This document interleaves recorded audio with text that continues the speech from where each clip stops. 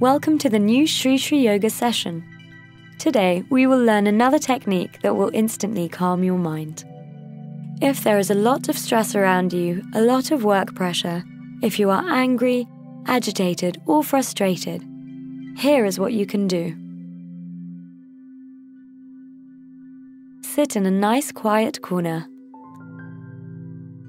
Place your index finger on your ears. Place your index finger on the cartilage between your cheek and your ear, so you're not actually putting your finger inside your ears. With a gentle smile on the face, close the eyes. Take a deep breath in.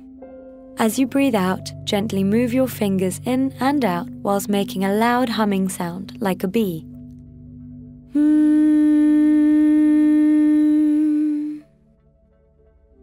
You can make a low pitched sound. Hmm.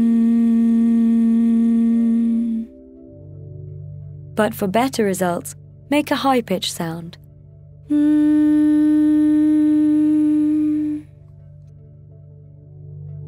Breathe in again and make the high pitched humming sound six to seven times. Keep your eyes closed for some time. Observe the sensations and the flow of energy in your body. This is called Bhramari Pranayam or the humming bee breath. You can practice Bhramari Pranayam three to four times every day. It will calm your mind.